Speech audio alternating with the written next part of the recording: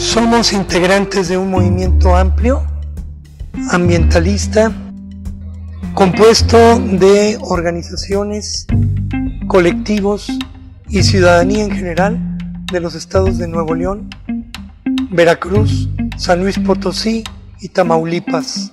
Nuestro trabajo ahorita es oponernos al proyecto Monterrey 6.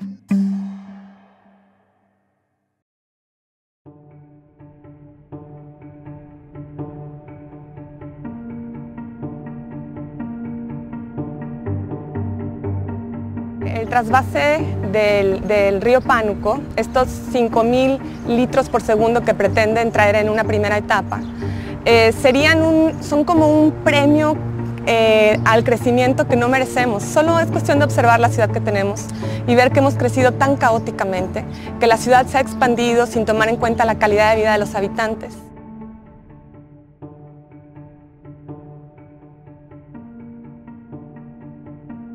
Abarcaría 510 kilómetros desde su origen en el río Tampaón hasta la ciudad de Monterrey.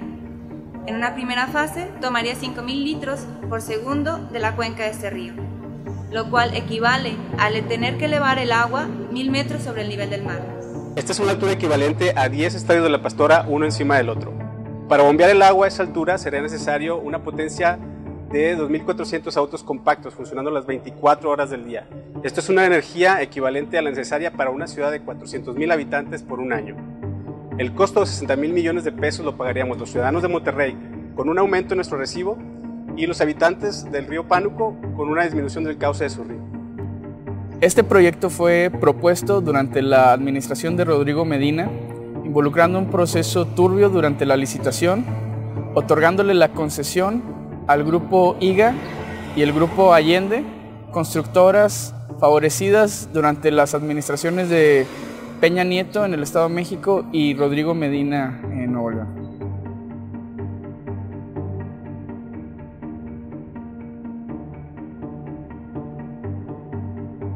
En marzo de 2015, el gobierno del estado, junto con Agua y Drenaje, iniciaron una campaña de malinformación haciendo uso de la política del miedo y ridiculizando a quienes cuestionaran la veracidad de la supuesta carencia de agua, llamándonos idiotas a los que nos oponemos al proyecto Monterrey 6. El Bronco, actual mandatario estatal, prometió cancelar el proyecto Monterrey 6 cuando estaba en campaña y tan pronto fue gobernador lo volvió a retomar para decir que sí se va a hacer. No queremos más casas blancas ni propiedades en Texas valuadas en millones de dólares. La cuenca del Pánuco se trata de la segunda más contaminada de México. Esto se entiende por una serie de elementos. Uno es que nace de manera artificial en los canales de drenaje de la Ciudad de México. Eh, a esto añadimos que transcurre por diferentes centros de población donde recibe descargas de drenaje, afectaciones por zonas industriales, descargas por zonas de cultivo y todo, como todo este conjunto va a dar al final de la cuenca, a la parte baja de la cuenca del Pánuco, que es el espacio donde se pretende traer el agua para Monterrey 6. El 70% del consumo de agua que es, eh, en el estado de Nuevo León está destinado a actividades agropecuarias.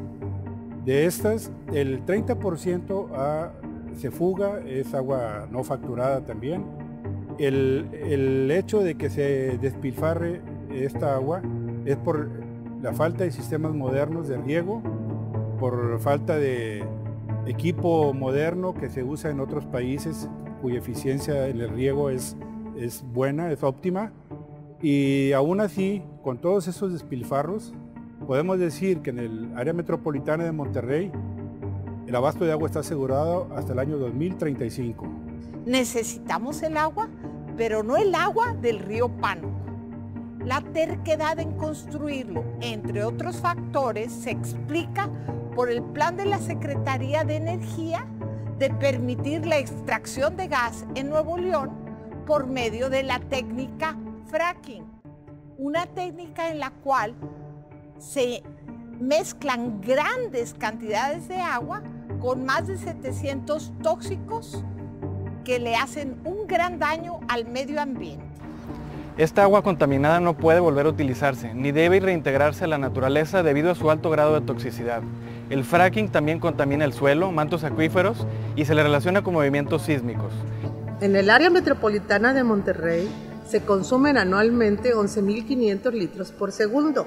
De esos, 3.320, o sea, el 29% se pierden en tomas clandestinas, en fugas y en donaciones.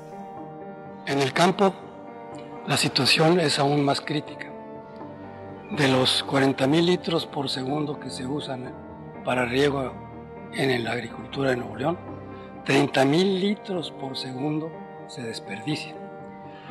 En lo que se refiere al traslado del agua, por evaporaciones, infiltraciones y malas prácticas obsoletas de riego por los agricultores de Nuevo León. Esta cantidad que se desperdicia es el equivalente a seis veces más el traer el agua en su primera etapa del río Pánuco de 5.000 litros por segundo.